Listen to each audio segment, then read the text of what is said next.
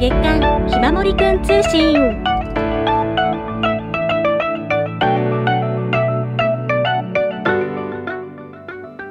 時刻は午後5時20分を回っています。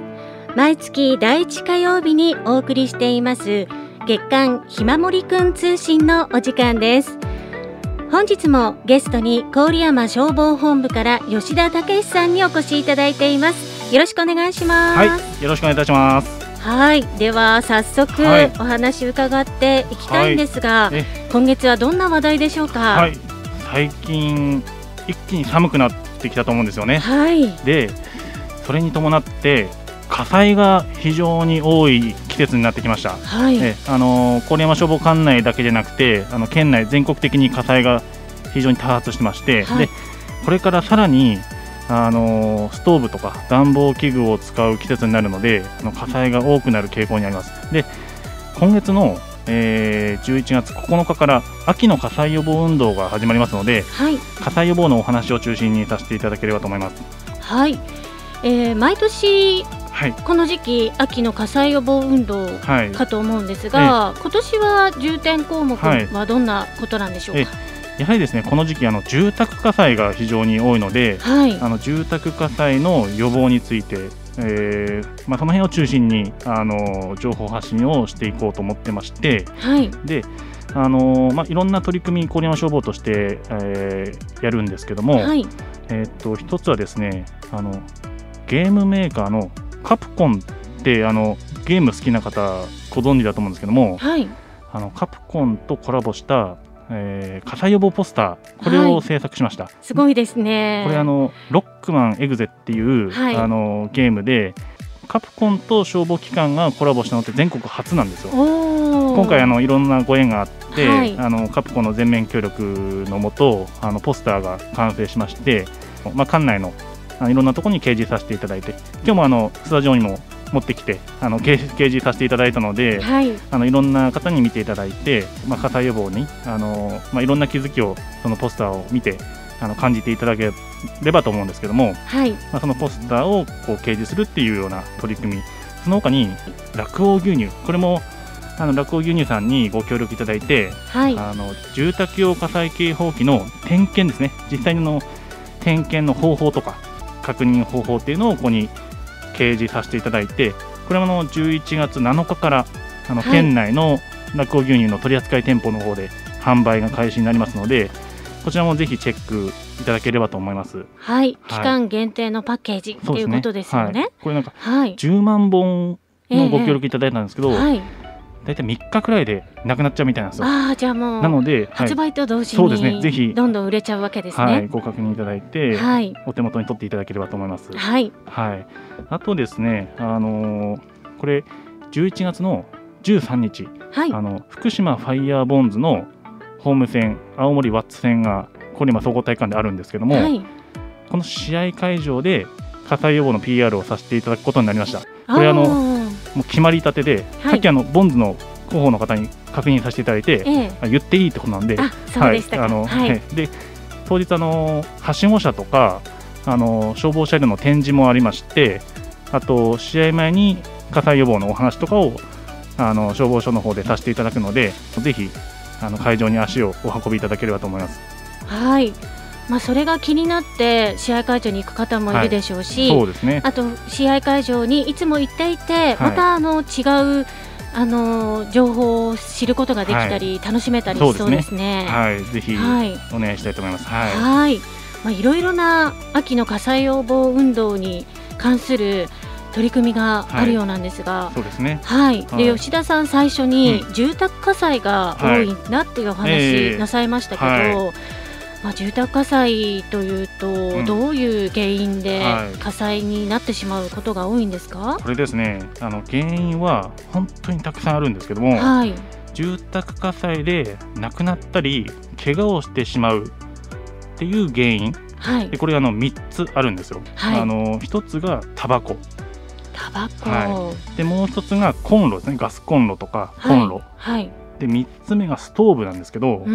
で今までの季節ってあのストーブは使ってなかったと思うんですけど、はい、これからストーブを使い始めるので、はい、なおのことをそういった住宅火災で被害に遭うケースがまあ、多くなっていくっていう、そういう季節になります。はい、はい、でそれぞれちょっと個別にあの火災事例なんかをご紹介したいんですけども、はい、まずはタバコなんですけどタバコはやっぱり絶対的にその寝タバコですね寝タバコで火災になるケースっていうのが、まあ、後を絶たない状況なんですけども、はい、あので寝タバコの場合ってあのアルコールを飲んでる状態っていうのは非常に多くてですね、えー、なのでその、まあ、もちろんその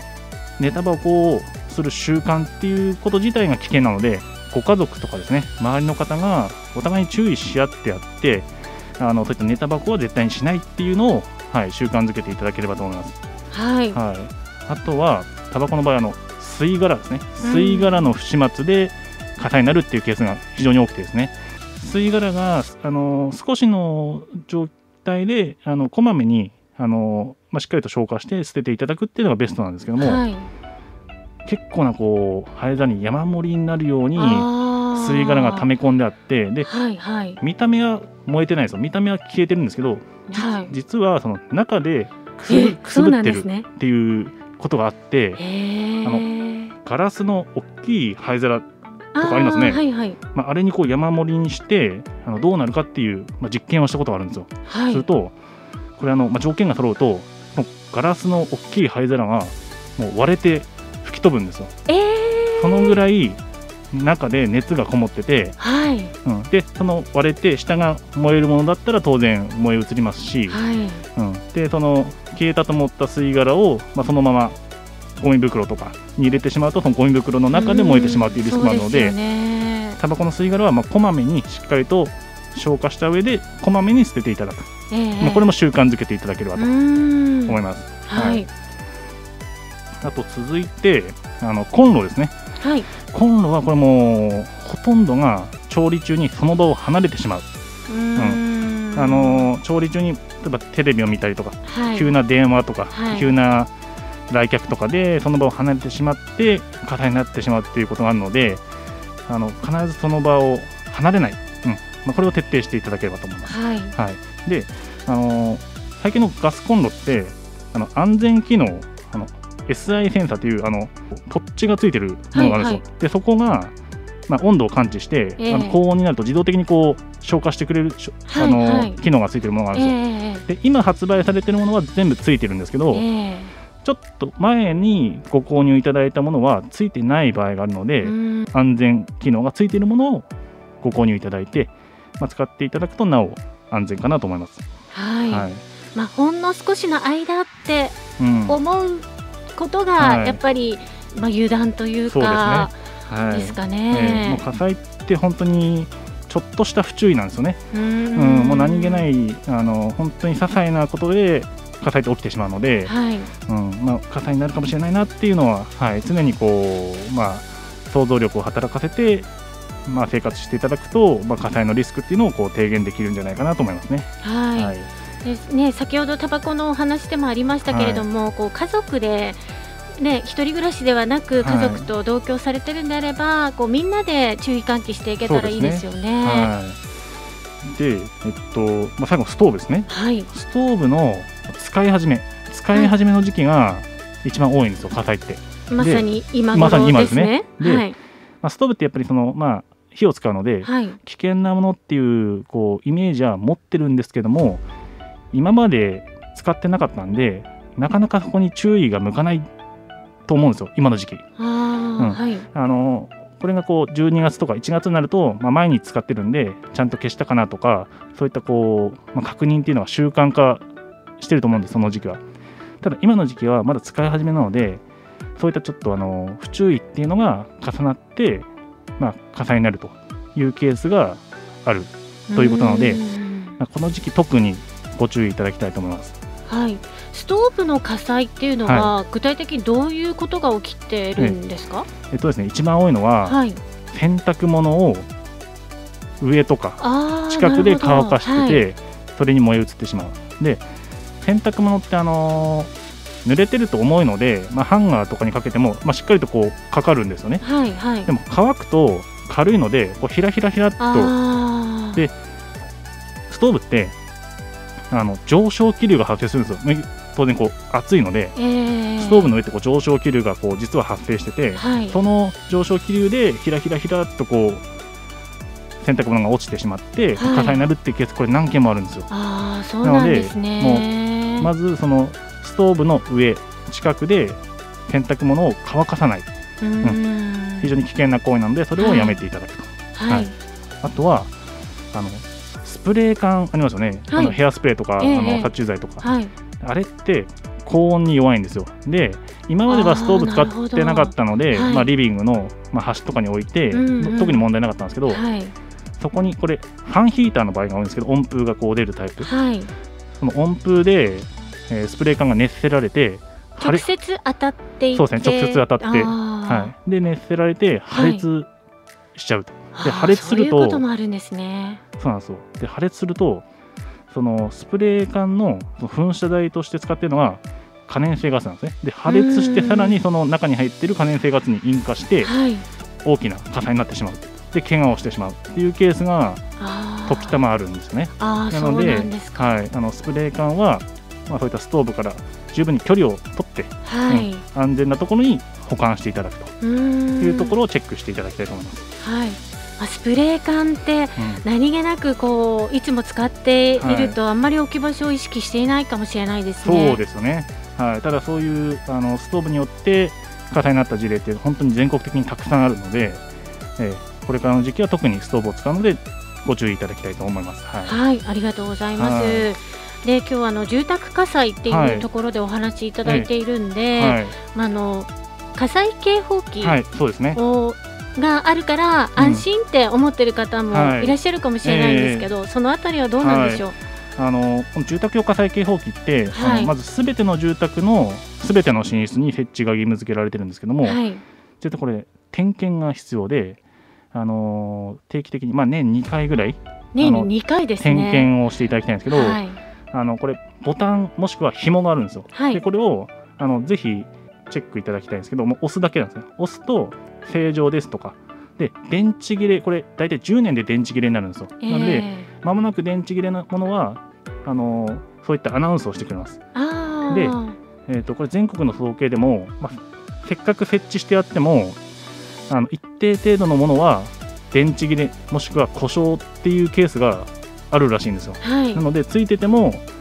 しっかりと万が一の際にならないと意味がないので、えその日常的な。でこれもあの、まあ、お掃除のついでとかですね。点検をしていただいて、はい、でこれあの設置についてもこれ天井もしくは壁の高いところにつけるので、はい、あのご高齢の方のみの世帯とかなかなか自分でつけるのが難しいケースってあると思うんですよ。はい、であの郡山消防で最近始めた取り組みとして、はい、住宅用火災警報器の取り付け支援、はい、はい、あの通称孫の手作戦っていうふうに命名したんですけど、はい、まあ、消防署の若い職員が直接お邪魔して、はい、その重慶機を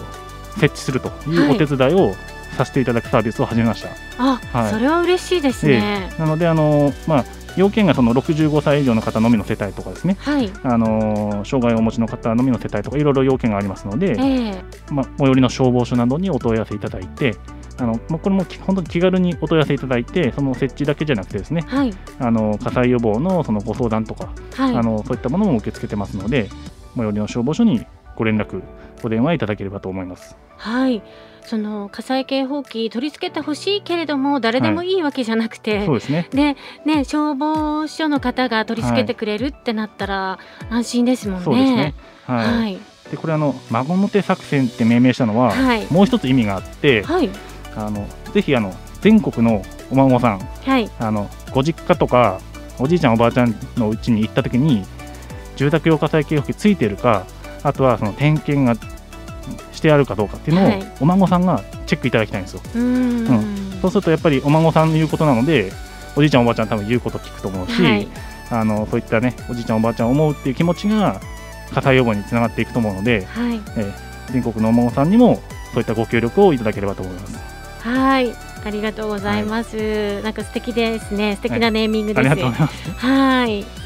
えー、11月9日から15日まで秋の火災予防運動始まるというところで、はい、今日は住宅火災の予防なども含めいろいろとお話をいただきました。郡山消防本部吉田武さんでした、はい、今月もありがとうございました、はい、ありがとうございました